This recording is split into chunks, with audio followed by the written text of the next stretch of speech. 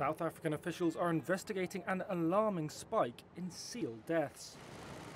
Scores of seal carcasses have been washing up on beaches in Cape Town and along the rugged coastline north of the city. James Brent Styan, a spokesman for the Western Cape Province's Environment Department, said seal deaths are considered normal at this time of year, but not to this extent. One of the theories, one of the early theories is that it might be malnutrition. Lots of the seal carcasses are small uh, and seem to be uh, thin.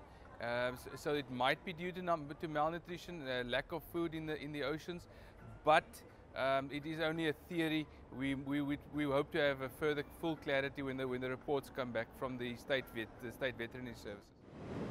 The provincial government said last week it had buried almost 200 seals. Experts believe an avian influenza epidemic affecting wild seabirds in the area is probably not behind the spate of seal deaths.